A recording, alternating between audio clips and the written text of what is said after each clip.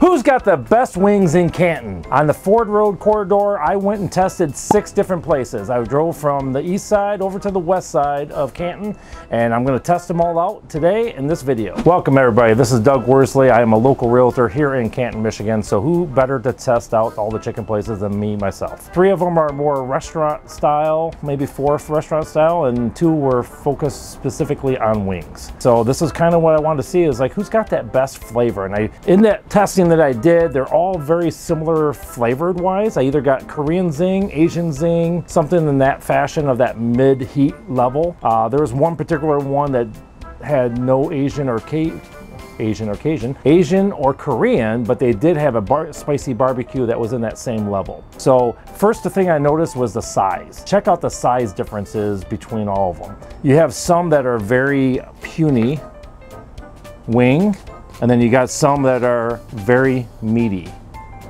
right? That alone can decide where you want to go for a wings. If you know if you're a big guy like myself, I love those meaty wings. Uh, the next thing is is the price. Uh, every one was a little bit priced differently because some of them came five pieces, some came six pieces, some came seven. And so to be fair, I wanted to price them per wing and find out exactly what the cost is of these. So I'm going to start off with the Korean barbecue. I think they had the highest price per wing, which was $2.16.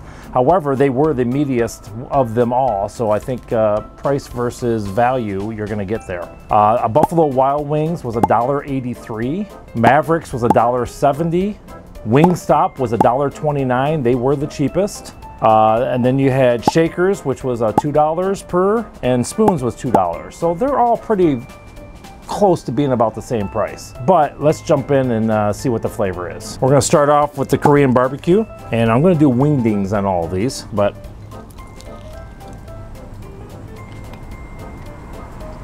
This one here has got very good flavor. Um, the sauce is very good, but it's you know besides it being meaty, it's the uh, the breading that they got on there. It's got a very thicker breading compared to some of these other ones.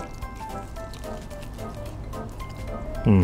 I could eat these all day. All right, so after each one, I'm gonna do a little water cleansing to make sure it's kind of a fair, a fair test, taste test. Next, we're gonna go with the Buffalo Wild Wing. A little disappointed in the uh, the size of the wing. I mean, it's it's very petite. Uh, Flavor-wise, I've, I've been eating these ones for a long time, so I know already know what the flavor is gonna be like. The Asian Zing, it's a very good flavor. I love the, the sauce of it.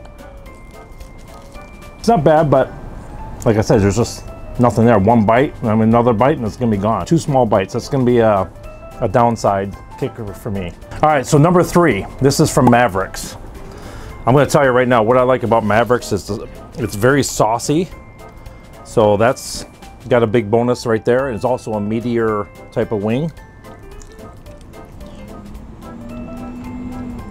Mm. Wow, that's uh, it's definitely good, and uh, what I noticed already between this one versus the Buffalo Wild Wings is this is uh, the meat itself is a little bit more tender versus the other one. So I don't know if it's just dried out because of the you know the taste testing that I'm doing, but it just it seemed like it was it just felt like it was more uh, moist than the other ones.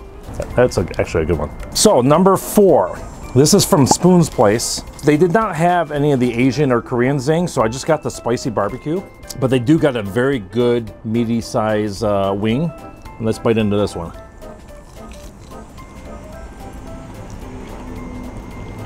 Mm. So again, I think it's because the amount of meat that's on them. They're not as dried out as some of the smaller wings, but the sauce is very good. It's not heat-wise, it's the same as the uh, the Korean and Asian zings, but this is more of a barbecue sauce, uh, which is still very good. So that's a nice, that's a good contender right there. All right, we're down to number five. Number five is Shakers. Shakers has uh, a little bit more of a darker sauce to it. Um, they are a little bit on the smaller side, size-wise, but let's see what the flavor is like. It's got good flavor. Um, oh, it's kind of hard to describe. It kind of feels like it's got some peppery taste to it as well.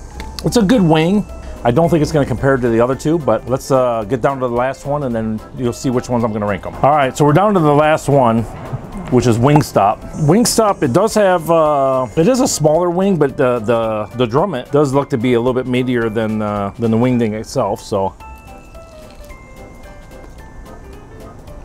Sauce isn't bad. The chicken seems to be a little on the drier side compared to the uh, some of the other ones. So based on this, of the six that I went to, it's gonna be kind of hard to rank them, but I know my top three is gonna be Mavericks,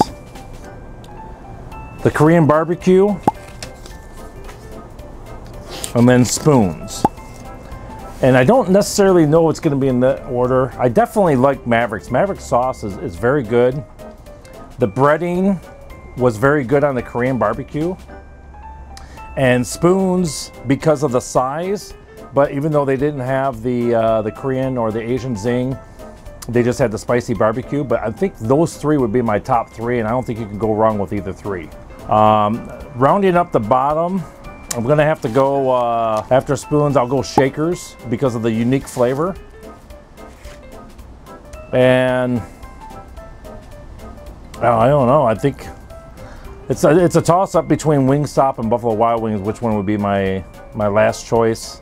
Um, if you take out the environment side and, and, stuff like that and just the wings itself, it's, it's they're almost uh, very similar. You know, as far as going out for a night, obviously I'll go to Buffalo Wild Wings before I go to Wingstop, but I am going to have to put those two at a tie for, for last place. I don't think I can rate one better than the other. And uh, pretty much that's what I, uh, what I have for my wings.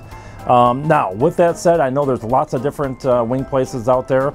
So why don't you comment on the bottom as to what is your favorite wing place that you like to go to, regardless if it's in Canton or not. And one more test. Which one do you like? Do you like the drumstick or do you like the wing? Which is your favorite? So comment below. And then if you want to live over here in Canton or anywhere else, just feel free to give me a call at 734-560-3499. I'd be happy to help you locate a place that uh, you could call home and you could eat these chicken wings all day long.